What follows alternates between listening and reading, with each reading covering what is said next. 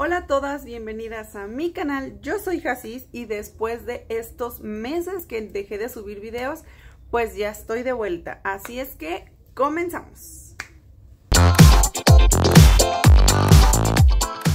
Y bueno, estas son cinco cosas que van a pasar después del parto o que nos pasan después del parto.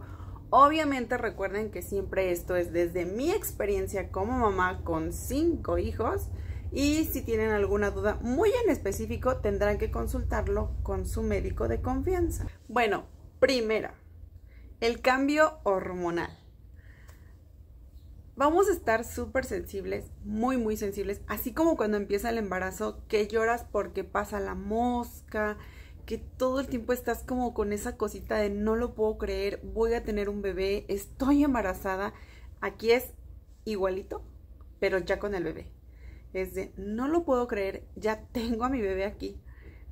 ¿Cómo lo voy a hacer? ¿Qué voy a hacer? Estás muy, muy sensible. Las hormonas están igual, igual de alteradas y locochonas que al principio del embarazo.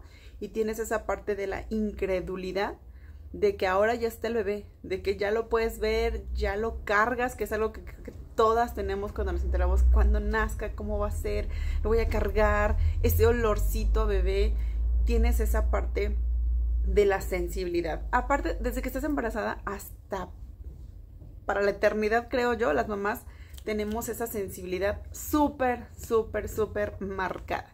Así es que no va a desaparecer. Si tú estás al principio del embarazo, eso no va a desaparecer. Cuando nazca, vas a seguir teniendo esa duda y esa incredulidad de que ahora ya está aquí, ahora que sigue, ahora cómo lo voy a hacer.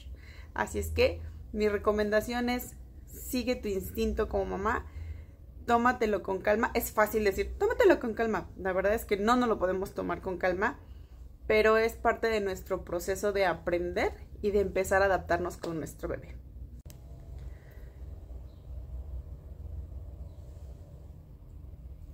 Ok, número dos, el equilibrio. Cuando tú tienes a tu bebé y es la primera vez que te vas a levantar, tómatelo con mucha calma, con mucha paciencia y apóyate de alguien si es que te permiten en el hospital donde tú estás que haya una persona contigo. No te pares de golpe, he escuchado que muchas se llegan a desmayar, así es que de a poquito, incorpórate de a poquito, como tú te vayas sintiendo en confianza, te sugiero que primero te sientes, te, busques la manera de ir bajando un pie, luego bajando el otro, así como luego dicen cuando toman de más, haz tierra, haz tierra, toca el piso con un piecito, luego con el otro y llévatela con calma. A la hora que tú te incorpores, te pongas de pie, vas a sentir esa falta de equilibrio, porque después de que tenemos la pancita del bebé, todo eso se nos mueve todo vuelve a tratar de acomodarse, tenemos como ese vacío, como ese hueco. Yo recuerdo que, que en especial con mi, con mi, con mi tercer hija, cuando me levanté y yo jalé aire, sentí que ¡ah! entró muchísimo aire a mis pulmones. Sentí como que, que había demasiado espacio en mí y me sentí un poco mareada. De mi segunda hija me paré muy rápido. Recuerdo que tenía muchas ganas de ir al sanitario, quería hacer pipí y cuando me levanté no me pusieron sonda, entonces tenía que ir al sanitario. Cuando me levanté, o sea, lo hice creo que muy rápido, estaba ahí mi mamá, el papá de mi hija. Cuando llegué al sanitario sentí que me iba a desmayar, o sea, todo negro, negro, negro. Dije, me voy a desmayar, me voy a desmayar. Me, me sostuvieron, pero sentí como mi cuerpo perdió fuerza. Entonces, tómatelo con mucha calma. De mis otros tres hijos ya no me pasó y sí fue obviamente pasito a pasito. Primero me senté, luego fui bajando un pie, poco a poquito poniendo mi peso en uno y luego en el otro y me la llevé con calma. Te recuerdo, si es que has visto otros videos míos, que yo nunca he tenido una cesárea, entonces no sé realmente cómo sientas el levantarte y tener ahí esa cirugía en ti. Creo que les ponen las, les ponen, bueno, unas, unas fajitas o unas vendas y supongo que debe ser mucho más el impacto de levántate y empieza a caminar porque tienes una herida. En mi caso, en los partos, sí sentí ese cambio del equilibrio y tómatelo con mucha calma y apóyate de las personas que estén ahí a tu lado. Sin pena, estamos súper vulnerables, sin pena, no nos hagamos las fuertes. Necesitamos ayuda y necesitamos que nos puedan apoyar a empezar a tomar el nuevo rumbo de nuestras vidas como mamás. El punto número 3 son los pechos agrietados o un poco adoloridos.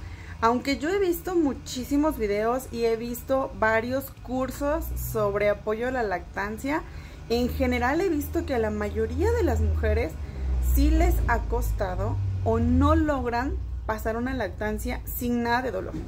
Se dice que, yo no conozco a nadie, pero se dice que sí se puede lograr.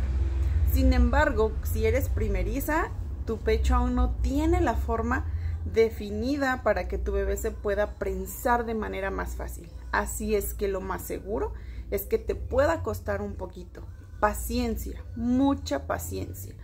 No hay nada más que la paciencia. No hay una receta mágica para que logres con éxito adaptarte a tu vida de mamá y a la lactancia. No la hay. Así es que trata de apoyarte de tus familiares, de los consejos, pero sobre todo sigue tu instinto, porque todos te van a dar diferentes opiniones, pero la que tú sientas que es la mejor para ti, sigue esa, no hay de otra.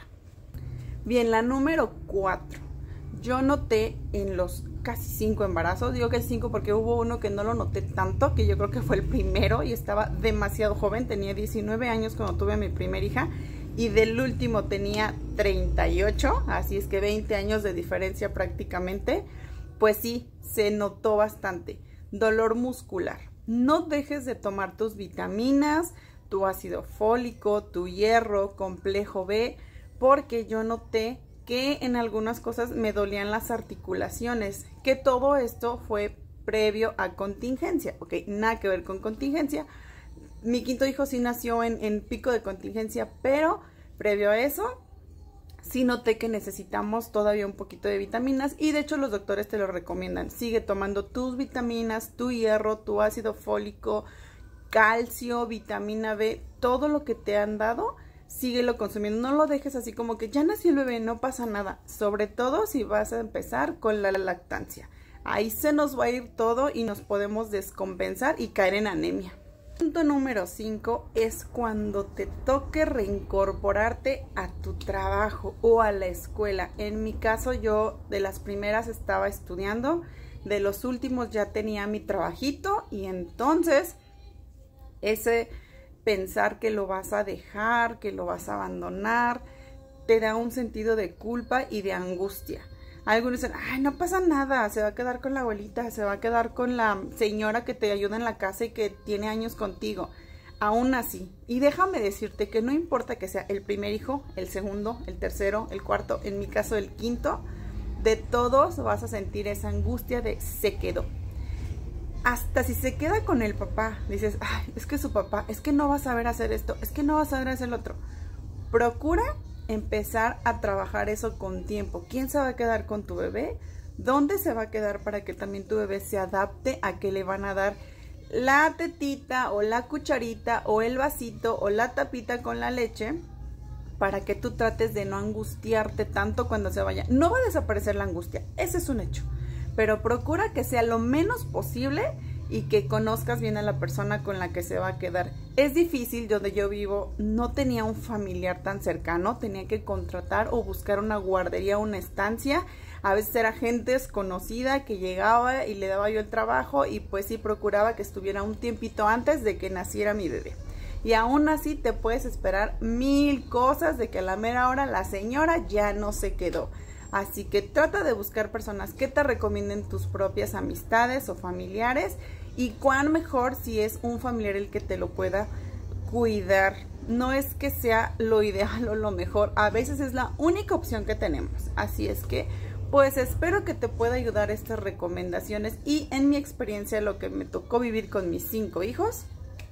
Y pues muchas gracias por verme por estar aquí y por ser parte de esto que estoy haciendo y que es parte de mi historia. Así es que gracias. Nos vemos hasta la próxima.